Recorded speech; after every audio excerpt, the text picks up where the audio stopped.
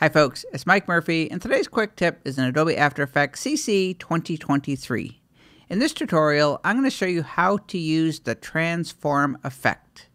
The transform effect works just like the transform properties of a layer, that's anchor point, scale, position, rotation, and opacity, only the transform effect allows you to change the transform properties and a few others for multiple layers. Here I have a simple animation.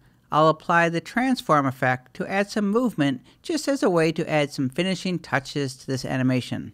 So first I'm going to add an adjustment layer. To do so, I'm just going to right click anywhere in the layers panel, go to new, and select adjustment layer. Then I'm going to go to the effects and presets panel. If you don't see that, go to the window menu and check effects and presets. I'll click in the search field and start typing out transform. T-R-A-N-S. There I will see the transform property. I can just click on it and drag it right onto the adjustment layer. When you add the transform effect on something like an adjustment layer, everything below the adjustment layer is going to be affected when you change the values of any of the transform effect properties. For example, if I increase the scale, you'll see everything below that adjustment layer is increasing in scale. And to add a little bit of movement to this animation to give it kind of a handheld camera effect, I'm just going to add a simple wiggle expression to the position property. To do so, I'm going to press the Option key on a Mac, Alt if you're on Windows, click on the stopwatch for position. I'll type out wiggle, W-I-G-G-L-E, open and close parentheses, and now you just need to enter in two numbers separated by a comma. The first number is the frequency, or speed.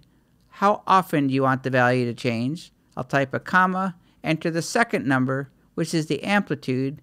This is how much you want it to change. I'm going to type in a real low value. I'll type in 5. I'll tap the spacebar to preview.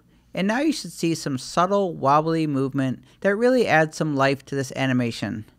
And if I increase that number, just to give you an idea of what this wiggle effect is doing, I'll go from 5 to 15, tap the spacebar, and now you can see it's a little more exaggerated.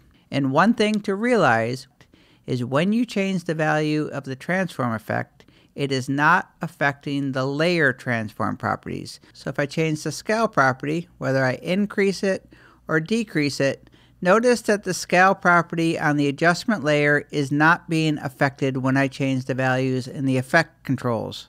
So if I decrease the scale using the transform effect, that's decreasing the scale of all of the layers below it. If I go to any of the graphic layers, let's say this character here, and I tap S, the scale transform property of that layer is not being affected by the transform effect.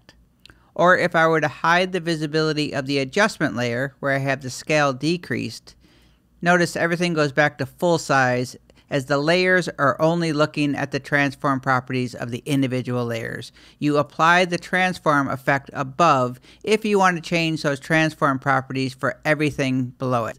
So the next time you want to make a global change to the transform properties without needing to change them on each layer, try the transform effect in Adobe After Effects CC 2023.